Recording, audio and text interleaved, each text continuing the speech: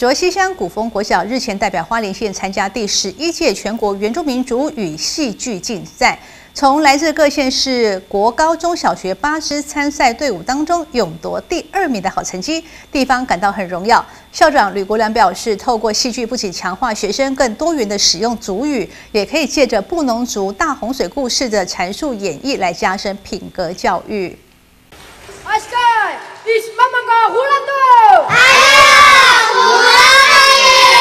第十一届全国原住民族族语戏剧展演赛，古风国小幼子队台上演绎布农族大洪水故事，自然质朴，学生们纯真的演出不仅打动评审团的心，参与的每一位学生也更多元化的来学习并使用族语。那明嘎古阿阿达，因为那个我们那个没有火，我们不知道怎么办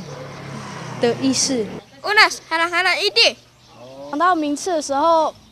那时候我们就心里突然一股兴奋，就觉得很开心。那么多次练习啊，这样的努力成果终于有，终于有那个，终于有成果。卓溪乡古风国小通过县赛后，十一号代表花莲县参加全国原住民族语戏剧展演赛。第一次出征就在各县市国高中小学代表队伍中脱颖而出，以新人之姿拿下了第二名的佳绩。部落族人与家长高度赞许，也与有荣焉。这是肯定的，因为我看到他们就是，比如说他们觉得说好像有点惊讶的时候，他们就会把那个 ice guy 就会念出来了，而且是因为是因为演过嘛，就很自然的。原来是哎哎 ice guy 这样子啊，然后呃什么的阿米瓜多，哦就会讲这样子的话。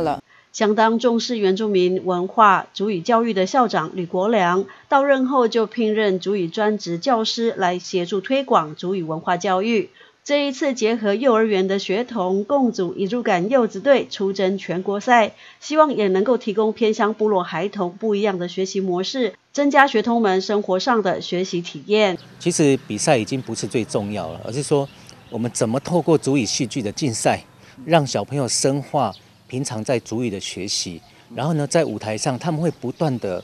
也就是说刻意练习。那么我的家长就很感动，说他们在游览车上听到孩子很主动的讲主语，这个主语的音是没有很刻意的，就像在部落跟老人家对话那种感觉。那我在后面我也听了很感。古风国小幼子队从组队练习到登台比赛，仅有短短一个月的时间，而且还有六位幼儿园的孩童，也增加了团练的难度。不过出生之犊不畏虎，首度出征就拿下全国第二名的佳绩。校长李国良肯定学生们的努力，并表示已经创下了校史新纪录。未来在传统文化、语言及技艺、传统智慧、族群品格等教育上，能朝向更多元化的方式推动学习。记者史玉兰卓西采访报道。